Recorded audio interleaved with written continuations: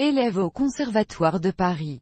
Il obtient un premier prix de comédie en 1903. André Bruno est très connu dans le milieu théâtral, mais sa carrière cinématographique ne commence qu'en 1934 avec Les Précieuses Ridicules de Léonce Perret. À partir de cette date, il incarne à l'écran les seconds rôles. Il mène de front une carrière théâtrale et une carrière cinématographique, même s'il ne tourne qu'une vingtaine de films jusqu'en 1959. Son rôle le plus marquant au cinéma est celui du père le couvreur, patron de l'Hôtel du Nord dans le film du même nom de Marcel Carnet, 1938, où il est le mari de Jane Marken. Après son départ de la comédie française, il rejoint la compagnie Renault Barros